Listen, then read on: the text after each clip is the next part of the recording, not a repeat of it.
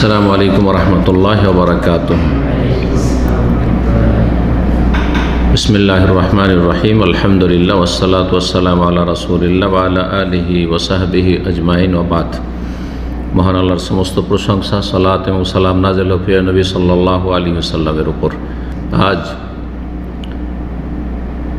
বুধবার ষোলোই সাবান চোদ্দোশো চুয়াল্লিশ হিজড়ি মোতাবেক আটই মার্চ দু হাজার তেইশ।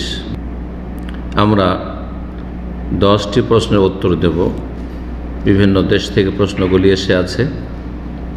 প্রথম প্রশ্ন করেছেন এক ভাই, বলছেন, আসসালামু আলাইকুম রহমতুল্লাহ বরকাত ওয়ালাইকুম আসসালাম রহমতুল্লাহ বরকাত শেখ, আমি আব্দুল গাফার কালিয়াচক, মালদা থেকে। আমার প্রশ্ন হলো, আমাদের এখানে আহলাদিস মসজিদ সমূহে কিছু ইমাম, খতিব, জুমার নামাজের পর সবাই কিনে সম্মিলিত মোনাজাত দোয়া করেন।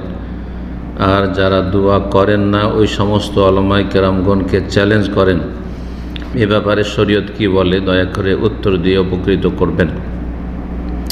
রসুল্লাহ সাল্লাহ আলি সাল্লাম ফরজ সলাত হোক, অথবা সন্নত নফল হোক, অথবা জুমা হোক ঈদ হোক, কোনো সালাতের সালামের পরে সম্মিলিত মোনাজাত কখনো করেননি। এই মর্মে কোন একটি হাদিস কেউ দেখাতে পারবেন না। যে প্রচলিত মোনাজাত যা করে থাকে আমাদের দেশের এক শ্রেণির মানুষরা, হানাফিরা তো করে এক শ্রেণির আহলে হাদিসও, তারা মোকাল্লেদ বাপদাদার।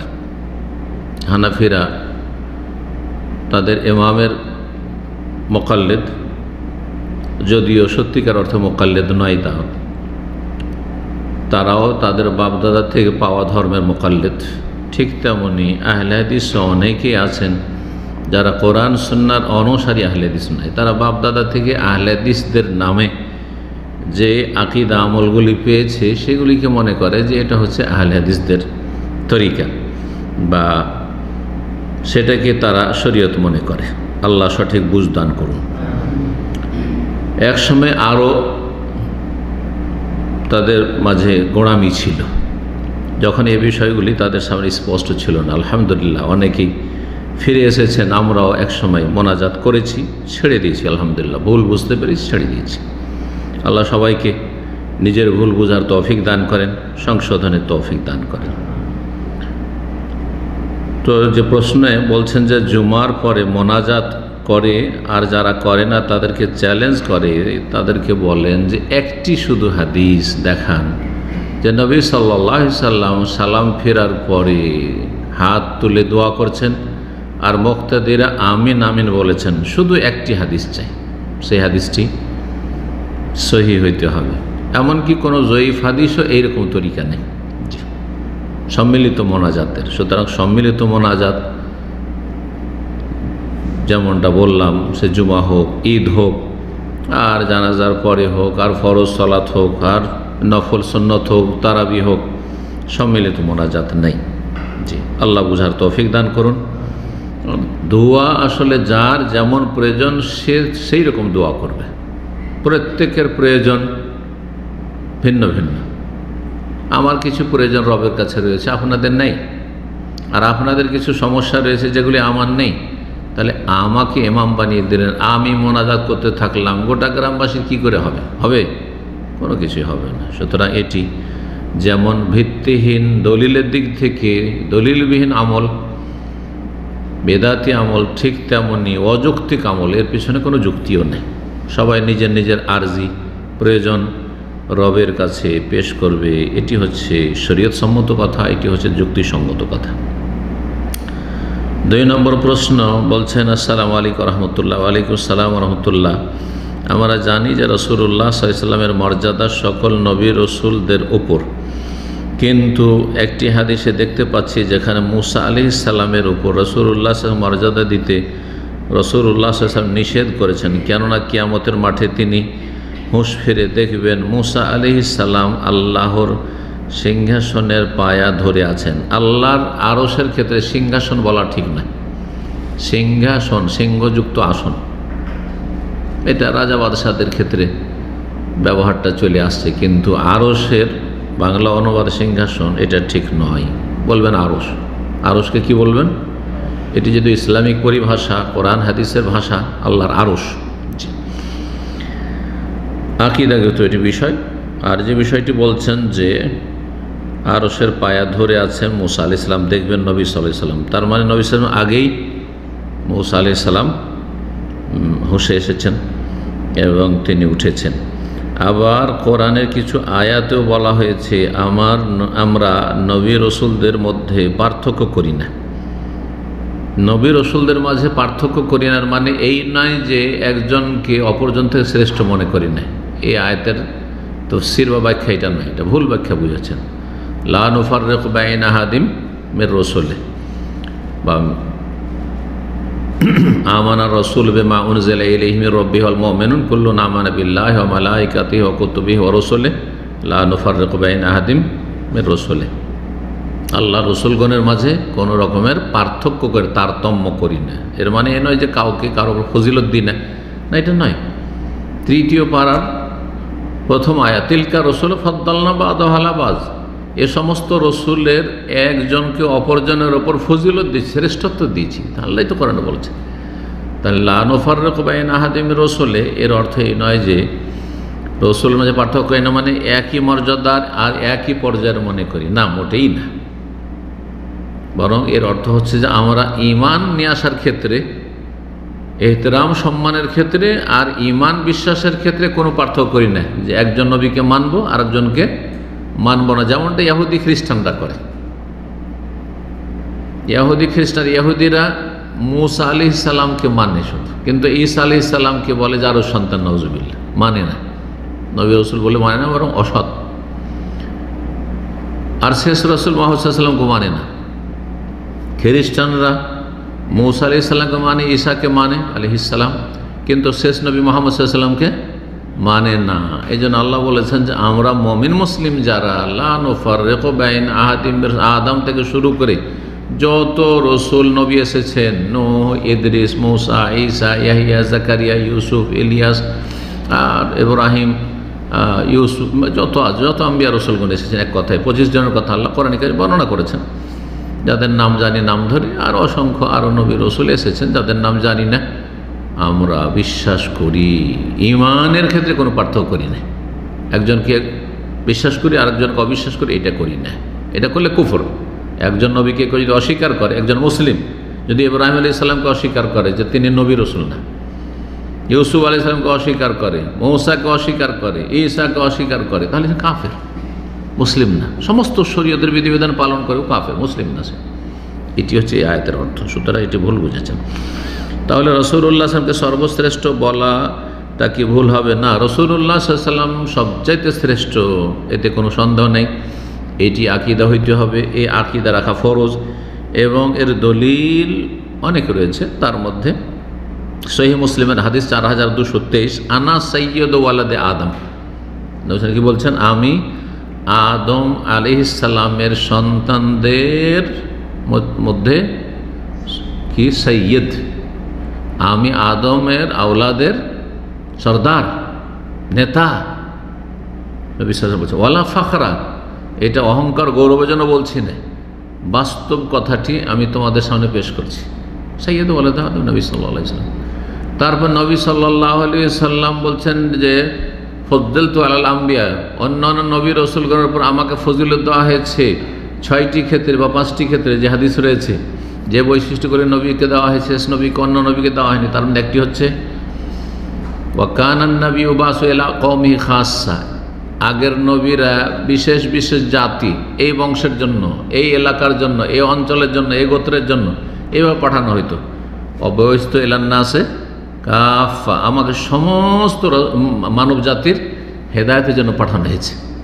কালো, সাদা সমস্ত জাতির জন্য। পূর্ব থেকে পশ্চিম, উত্তর থেকে দক্ষিণ, যত মানুষ এই ভূপৃষ্ঠে বসবাস, সবার জন্য রসুল হচ্ছেন মোহাম্মদ সাল্লাহ সাল্লাম। কেউ যদি ইমান না নিয়ে আসে, সেই ব্যক্তি কাফের, সে কুফুরি অবস্থায় যদি মারা যায়, সে চিরস্থায়ী জাহান নেবে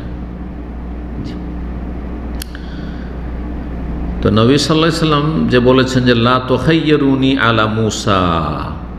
আমাকে মুসা আলি সাল্লামের ওপর তোমরা শ্রেষ্ঠত্ব দান করিও না। কথাটির প্রেক্ষাপট বুঝতে হবে। কেন বলেছিলেন? এই হাদিসটি বোখারি মুসলিমে রয়েছে।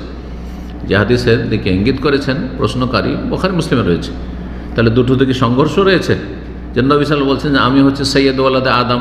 আদম সাল্লাহ সর্দার। আমি হচ্ছে শ্রেষ্ঠ। আর তারপরে বলছে, আমাকে মুসা আলাই সাল্লামের ওপর তোমরা প্রাধান্য দিয়ে না, অগ্রাধিকার দিয়ে না। এর মানে কি? এর মানে হচ্ছে ওর প্রেক্ষাপটটা বুঝতে হবে। তাহলে বুঝে নেবেন সেটা হচ্ছে যে একবার এক ইয়াহুদি আর এক মুসলিমে ঝগড়া, তর্ক বিতর্ক শুরু হয়েছে। যে ইয়াহুদি বলেছে যে ওয়াল্লাজি ইস্তাফা মুসা আল্লাহ আলমী সে আল্লাহর কসম করে বলছে, যিনি মুসা আলি বিশ্ব জগতের ওপর মনোনীত করেছেন মনোনয়ন দান করেছেন, সম্মানিত করেছেন, তখন সেই মুসলিমের রাগ হয়েছে। বলছে ওয়াল্লাজি ইস্তাফা মোহাম্মদান আল্লাহ আলমী সাল্লাম সেই আল্লাহর কসম করে বলছি, যিনি মোহাম্মদ সাল্লামকে বিশ্ব জগতের উপর শ্রেষ্ঠত্ব দান করেছেন বা মনোনীত করেছেন। যে দুইজনে মারামারি শুরু হয়েছে হ্যাঁ?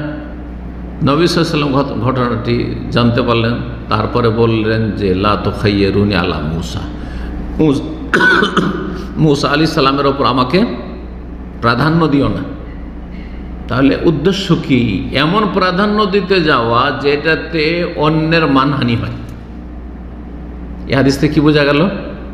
কারণ ইহুদির উদ্দেশ্য হচ্ছে যে মুসা আলি সাল্লামকে সম্মান দিতে গিয়ে নবী মোহাম্মদ মানহানি করা। ঠিক তার প্রতিক্রিয়ামূলক রিয়াকশানে যখন একজন মুসলিম বলছে হ্যাঁ? যে সে আল্লাহর কসম করে বলছে যিনি মোহাম্মদ সাল্লামকে বিশ্বজগৎ শ্রেষ্ঠ দান তার মানে মৌসা আলি সাল্লামকে ছোট করে মোহাম্মদ সাল্লামকে ফজিলত দান করা বা তার ফজিলতের কথা প্রকাশ করা, এটা জায়জ নয়। এটা এমনি মানুষের ক্ষেত্রে জায়জ নয়। আমাকে যদি সম্মান দিতে গিয়ে অন্য কোনো আলেমের মানহানি হয়, ছোট করেন, তাহলে এটা জায়জ নয়। আপনি একজনের মান সম্মান নষ্ট করলেন। কিন্তু এমনিতে একজনকে আরেকজনের ওপর শ্রেষ্ঠত্ব দেন যাতে অন্যের মানহানি হয় না। তাহলে জায়জ অসুবিধা নেই। যার যত এলম আছে, আমল আছে, তাকে সেই হিসাবে আপনি বিভিন্ন বৈশিষ্ট্যের ভিত্তিতে আপনি ফজিলত দেন, কোনো অসুবিধা নেই। একজনকে ছোট করে আর একজনকে বড় প্রকাশ করা, এতে আঘাত লাগে মানুষকে। আপনাদের ছেলে মেয়ে আছে? ছেলে মেয়ের মাঝে যদি বলেন, আমার এই ছেলেটা সবচেয়ে ভালো, সবার সামনে। অন্যগুলো রাগ করবে না? হ্যাঁ? রাগ করবে না করবে না? জি। স্ত্রী যদি ঝগড়ার সময় বা কোনো সময় মনোমালিন্য, অমুকের স্বামী সবচেয়ে ভালো। তো স্বামীর কষ্ট হবে না? ঠিক না? তো এই কথাটা মনে রাখতে হবে। কিন্তু এমনিতেই আম্বিয়া রসুলগণকে একজনকে অপরজনের ওপর ফজিলত দেওয়া হয়েছে। এই জন্য সবচেয়ে শ্রেষ্ঠ নবী রসুল হচ্ছেন দুইজন। কে? মোহাম্মদ সাল্লাম আর ইব্রাহিম আলী সাল্লাম ইব্রাহিম আলী সাল্লাম দুইজন খলিল। আল্লাহর খলিল অন্তর্মন্ত আবার পাঁচজনকে বাকি অন্যদের ওপর প্রাধান্য দেওয়া হয়েছে। পাঁচজন? উলুল আজমিনা রসুল। হ্যাঁ দৃঢ়প্রত রসুল, যাদের কথা আল্লাহ কোরআন সুরাতে বর্ণনা করেছেন। জি। কে কে?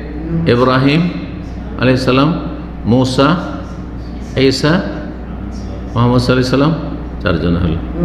হ্যাঁ? নো আলি সাল্লাম আগে ছেড়ে দিয়েছেন। নো আলি সাল্লাম জি নো ইব্রাহিম, মৌসা এইসা মোহাম্মদ সাল্লাহ আলী সাল্লাম, এই পাঁচজন ওলুল আজম, জি। তো প্রথম দুজনের ফজিলত সবচাইতে বেশি, তারপরে পাঁচজনের ফজিলত, পাঁচজনের চাইতে দুজনের বেশি ফজিলত, আর এই পাঁচজনের সমস্ত নবীর রসুলগণের ওপর বেশি ফজিলত। যাদের উপরে কিতাব নাজল হয়েছে, তাদের ফজিলত অন্য অন্য নবীদের উপর। জি। এইভাবে। এরকম একটা হাদিসে রয়েছে যে যেই ব্যক্তি বলে, মান কালা আনা খায়রুন মিন ইউনুস বিন মাতা ফাকাত কাজাব যেই ব্যক্তি বলবে যে, ইউনুস বিন মাতা চাইতে আমি বেশি উত্তম, উৎকৃষ্ট সেই ব্যক্তি মিথ্যা কথা বলল। কেউ যদি বলে যে মোহাম্মদ সাল্লাম ইউনুস আলি ইসলামের চাইতে শ্রেষ্ঠ, তাহলে সে মিথ্যা কথা বলে। কথা বলছেন? কেন বলেছেন? কারণ ইউনুস আলি সাল্লাম যেহেতু আল্লাহ ওপর ওয়াহির অপেক্ষা না করে, রাগ করে জাতিকে ছেড়ে দিয়ে চলে গেছিলেন, যার ফলে আল্লাহ ধরে নিলেন আর মাছের পেটে চলে যেতে হইল। ওতে কোনো মানুষ ভাবতে পারে যে ইউনুস আলী সাল্লাম একটা দোষ করেছেন, ভুল করেছেন। এই জন্য তার মানটাকে কেউ ছোট করতে পারে। যাতে এই কথা কেউ না ভাবে। ছোট করার উদ্দেশ্যে যদি কেউ ইউনুস আলি সাল্লামের ওপর আমাকে শ্রেষ্ঠত্ব দেয়, তাহলে সে মিথ্যা কথা বলে। এটা হচ্ছে উদ্দেশ্য। কিন্তু এমনি বাস্তবে ইউনুস আলিম সাল্লামের চাইতে অন্য অন্য নবীর চাইতে শ্রেষ্ঠ হচ্ছেন মোহাম্মদ সাল্লাহ সাল্লাম। আচ্ছা ইব্রাহিম এবং মোহাম্মদ সাল্লাম দুইজনের মাঝে তখন তুলনা করবেন কে বেশি শ্রেষ্ঠ? শেষ নবী মোহাম্মদ সাল্লাহ সাল্লাম। কারণ তিনি সারা বিশ্ব জগতের জন্য আরও এমন এমন বৈশিষ্ট্য যেগুলি রয়েছে, যেগুলি ইব্রাহিম আলি সাল্লামের মধ্যে নেই। কিন্তু কারও মানহানি করে নয়। সবাইকে মহব্বত করে সবার প্রতি ইমান দেখে জি। তিন নম্বর প্রশ্ন করেছেন, আসসালামু আলাইকুম শেখ আলিম সালামতুল্লাহ আমার প্রশ্ন হচ্ছে, ইলিয়াসি তবলি জামাত কি আহলে সুনত অল জামাতের অন্তর্ভুক্ত? না, আহলে সুনত অল জামাতের অন্তর্ভুক্ত না। ইলিয়াসি তবলি জামাত, এইরকমই মৌদুদি জামাত, ইখওয়ানি জামাত, যতগুলি বেদাতি জামাত রয়েছে, এগুলি আহলে সুন্নাত অল জামাতের অন্তর্ভুক্ত নয়। কোন ক্ষেত্রে? বিভিন্ন আকিদার ক্ষেত্রে তার মধ্যে একটি গুরুত্বপূর্ণ দিক হচ্ছে আল্লাহর নাম গোনাবলী তহিদুল আসমা সেফাতের ক্ষেত্রে তহিদুল আসমা সেফাতের ক্ষেত্রে, জি। আল্লাহর নাম গোনাবলীর ক্ষেত্রে তারা অপব্যাখ্যা করে। আল্লাহ রব্বুল্লা আলম প্রথম আকাশে নেমে আসেন। আশারি মাতরি দিয়েরা হচ্ছে তবলিগি খোয়ানি যারা আশারি মাতরি দিয়েরা তারা বলে যে আল্লাহর রহমত নেমে আসে, আল্লাহ নেমে আসেন না। অপব্যাখ্যা করলেন আল্লাহ রাগান্বিত হন, বলছে, না, আল্লাহ রাগান্বিত হন না। রাগ হলে তো মানুষ হালকা হয়ে যায়। মানুষের সাথে তুলনা করে বুঝতে শিখেছে তারা। তো আল্লাহর রাগ মানে আল্লাহ শাস্তি দেন, কিন্তু আল্লাহ রাগ, আল্লাহর রাগ হয়, আল্লাহ হাসেন, আল্লাহ খুশি হন যে হাদিসগুলো রয়েছে এগুলো অপব্যাখ্যা করেছে তারা। এই জন্য তারা আহলে সনতল জামাত নয়। এইরকমই তবলিগ জামাত, ইলিয়াসি জামাত, সুফি ইজমের বেদাতে লিপ্ত পীর মরিদিতে বিশ্বাসী। সুতরাং তারা এই ক্ষেত্রে আহলে সন্ন্যাতের বিপরীত অবস্থানে রয়েছে। আহলে বেদাত তারা। সুফিরা যারা পীর তরিকত মারিফত আর হাকিকাতে বিশ্বাসী, তারা আহলে সন্ন্যত নয় তারা আহলে বেদাত আশা করি বিষয়টি বোঝা গেছে।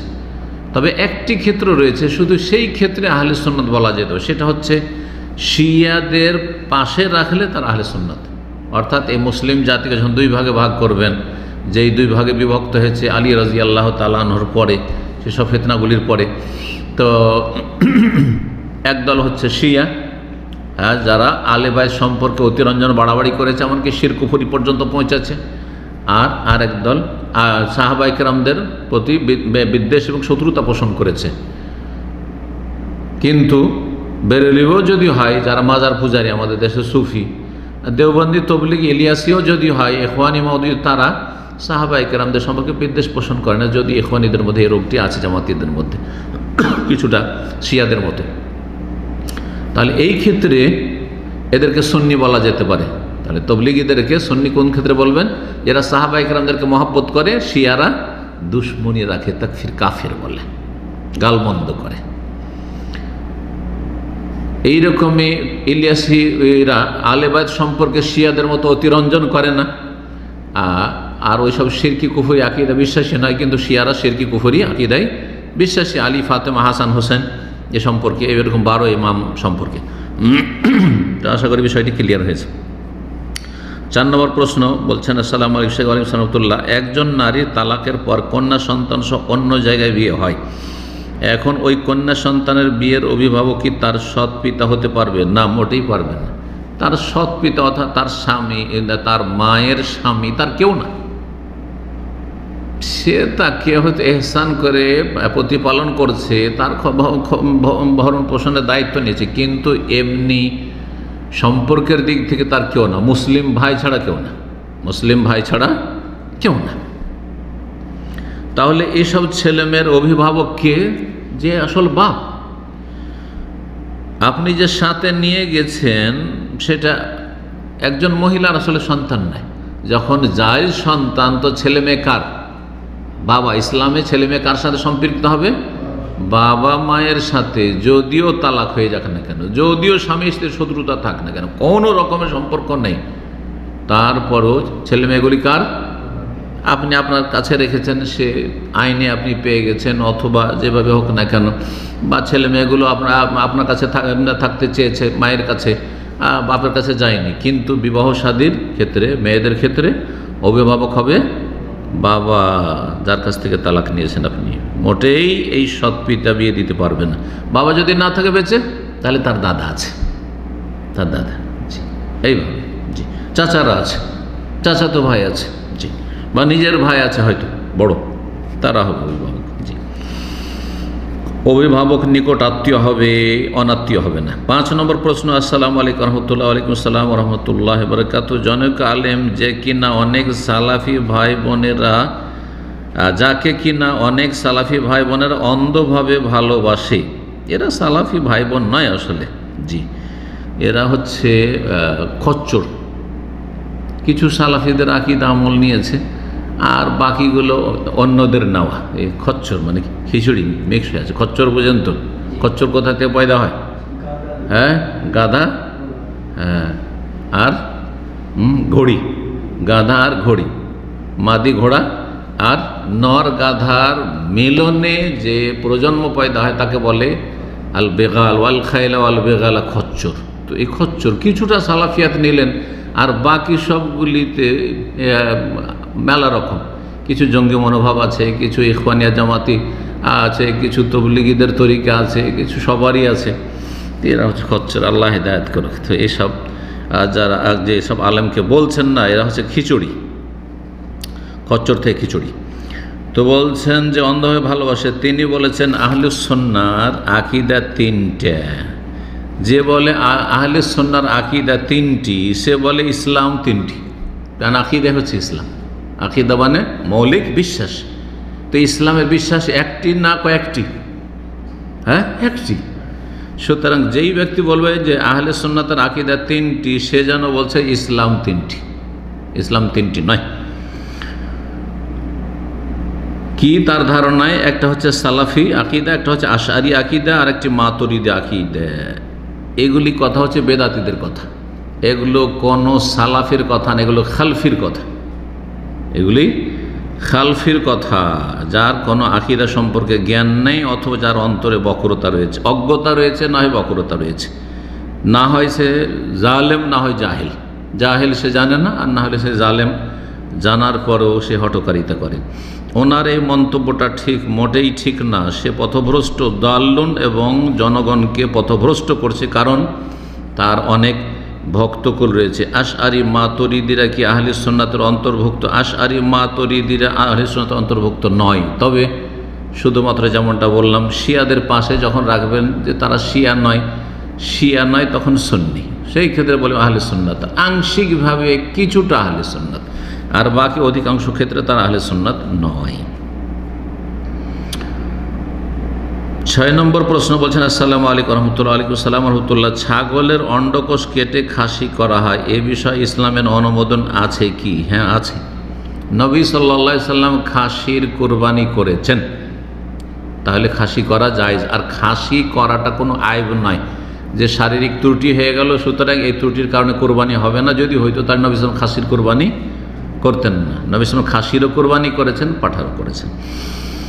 খাসির কোরবানি করেছেন। এই মর্মে হাদিস রয়েছে, মুসনাদ আহমদ ইবনে মাজায় রয়েছে, হাদিসটি সহিল দাহা রসুল্লাহ কাব সৈনি দুটো ভেড়া কোরবানি করেছেন। রসুল্লাহ সাল্লাম ঈদের কোরবানি মৌজু আইনে কাবসাইনে আকরানাইনে সিং বিশিষ্ট মৌজু আইনে ওয়াজাউন মানে হচ্ছে ওয়েজাউন থেকে ফাইন হলো ওয়েজাউন সেটা হচ্ছে খাসি করা খাসি করা। তো খাসি তাদের অন্ডকোষ বের করে নেওয়া এই রকম পশুর কোরবানি করেছেন রসুল্লাহ সাল্লাম দুটি। তারপরে বলছেন, আর যেগুলোকে খাসি করা হয় না, সেগুলোকে পাঁঠা বলে দেশে। মুসলিমদের জন্য নাকি পাঁঠার গোস্ত খাওয়া ঠিক নয়, এটাও জাহেলদের কথা। বরং এগুলো হিন্দুরা খায়। ওই যে হিন্দুদের পাশাপাশি বাস করার কারণে। হিন্দুরা গরু খায় না, সুতরাং গরু খাওয়া সবের কাজ। মনে করে না? গরু না খেলে মুসলমান হয়ে যায়? ভারত, বাংলাদেশ, পাকিস্তানে অনেক মুসলমানই ভাবে, বিশেষ করে বাংলাদেশের মানুষ তো গরুর পাগল। খাসির গোস্ত হলে খাবেন না, দমবার গোস্ত খাবেন না, উঁটের গোস্ত হয়তো নাও খেতে পারে, কিন্তু গরু না খেলে হয় কাজ। যে মুসলিম হলে কি করতে হবে? হ্যাঁ নামাজ, রোজা, হজ জাকাত কিছু থাক আর না থাক, কি থাকতে হবে? গরু খেতে হবে, জি। এগুলি হচ্ছে আমাদের দেশাচার, ইসলাম। হিন্দুরা কোনোটা খায়, সেজন্য আমরা খাব না, এমন কথা নয়। ইসলামে খাওয়া যায় কিনা, সেটা দেখতে হবে, জি। আরবরা অধিকাংশই আরব দেশে যারা আছেন, এখানে জানছেন আপনারা অধিকাংশ কিন্তু এরা পাঠারি গোস্ত খায়। এই জন্য এখানকার গোস্তে একটা গন্ধ থাকে ওই যে, পাঠা পাঠা একটা গন্ধ থাকে। প্রথম দিকে এসে অনেকের অসুবিধা, আমারও অসুবিধা। এক বছর মদিন ইউনিভার্সিটিতে আরবদের খাবার যেহেতু ফিকা সাদা করে রান্না করে, মশলা দিলে তো গন্ধটা একটু কম হয়ে যায় এক বছর আমি ছুঁতে পারিনি, ও গন্ধের কারণে খেতাম না। খাসির গোস্ত খেতাম না, গরু খেতাম চিকেন খেতাম, অন্য কিছু খেতাম, খেতে পারতাম না। তারপরে দ্বিতীয় বছর থেকে আস্তে আস্তে অভ্যাস হলো, আর তারপর মজা লাগা শুরু হয়ে গেল। ও আরবিদের মতো ফিকাই রান্না করো কিছুই নেই, লবণ নেই জাল কিচ্ছু নেই, তারপর অভ্যাস হয়ে গেছে। জি। আমাদের সমাজে এমন কথার প্রচলন রয়েছে যে, যেহেতু পাঠা হিন্দুরা খায় যে পাঠার বলিদান করে হ্যাঁ তাদের কালী মায়ের আস্থা নাই, সেই জন্য এইসব বিষয়গুলি রয়েছে আসলে অজ্ঞতামূলক। কিন্তু তারা পাঠা খায় সেজন্য আমরা খাব না। হ্যাঁ তারা পাঠাকে বলি দেয়, শিরকুফুরি করে। আর তারপরে তারা গলাটাকে পুরো ছুটিয়ে দেয়। আপনি ছুটাবেন না, কিন্তু পাঠা খেতে পারবেন। সন্ন্যতি তরিকে জবাই করবেন। এ বিষয়ে ইসলামের দৃষ্টিভঙ্গি জানতে চাই, যেমনটা বললাম যে পাঠা খাওয়াও জায়েজ, আর খাসি করাও খাওয়া খাওয়া জায়েজ। কোরবানি দুই রকমের জায়েজ। এক বক্তা বলেছে, এক বাঙালি বক্তা। এদেরকে আমি আলেম বলি না। যে পাঠার কোরবানি করা যায় যে না পাঠার হ্যাঁ গোস্ত খাওয়া যায়, এই ধরনের কথা বলেছে। এটি অজ্ঞতা। দিন সম্পর্কে তাদের জ্ঞান নেই, তারা ফতোয়া দেয় দু চারটি হাদিস মুখস্থ করে, বাস। সাত নম্বর প্রশ্ন, আসসালামু আলাইকুম রহমতুল্লাহ আলাইকুম আসসালাম রহমতুল্লাহ। সাহেব কেউ যদি একটা ব্যবসা শুরু করে পঞ্চাশ হাজার টাকা দিয়ে, যেখানে অর্ধেক হারাম রুজির টাকা এই ব্যবসা চলমান অর্ধেক হারাম রুজির টাকা ব্যবসা এখন চলমান। পরে সেই ব্যবসাকে হালাল করার জন্য কি করতে হবে? এই যে অর্ধেক টাকা হারাম লাগানো আছে সেই হারাম টাকা থেকে মুক্ত হইতে হবে। সেই হারাম টাকাটা মুক্ত হওয়ার জন্য দান করে দেবে। পঞ্চাশ হাজার যখন বলেছেন, তাহলে পঁচিশ হাজার।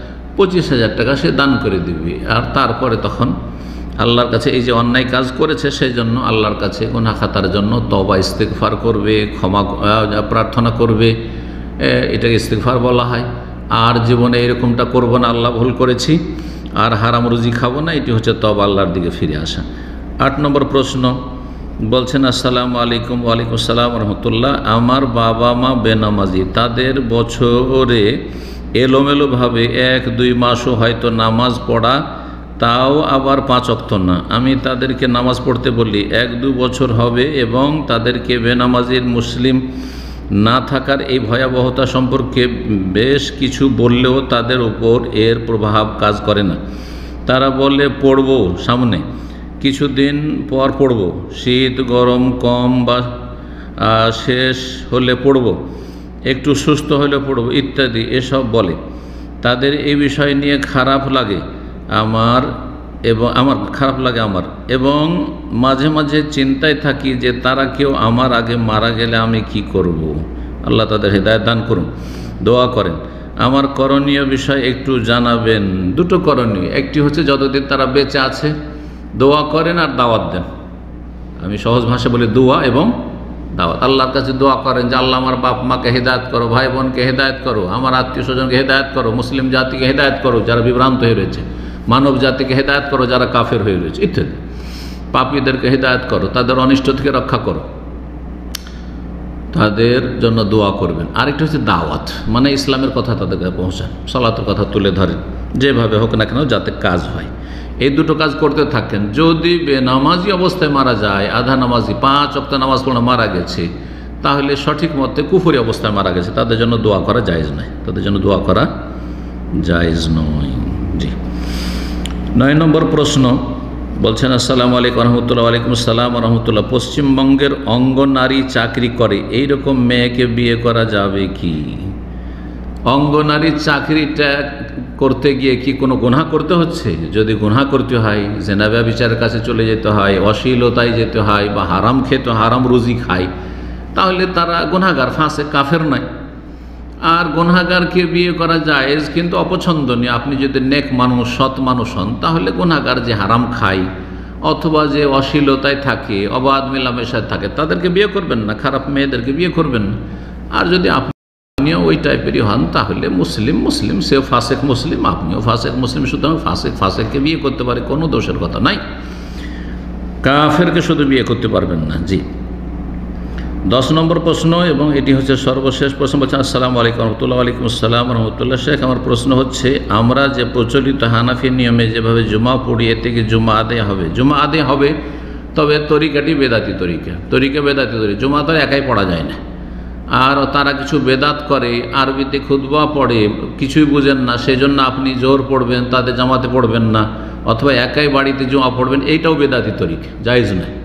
যে বাড়িতে আপনি নামাজ পড়েন, জামাত ছেড়ে, এটাও জায়েজ নয়। তারা বেদাতি তরিকায় জুমা পড়লেও তাদের সাথেই জুমা পড়বেন, কারণ জুম্মা একা আদায় করা সম্ভব নয়, ঈদ একা আদায় করা সম্ভব নয়। আল্লাহ কবুল করুন এবং আল্লাহ সবাইকে সঠিক বুঝ দান করুন এবং মন্তপন্থা অবলম্বনে তৌফিক দান করুন। আল্লাহ রব্বানের সার্বিক দিক থেকে আল্লাহ আমাদের হেফাজত করুন। দিন, দুনিয়া আল্লাহ বরকত দান করুন। ও সাল্লাম আলা নবীনা মোহাম্মদ ওয়ালা আলহি ওসাহাবিহি আজমাই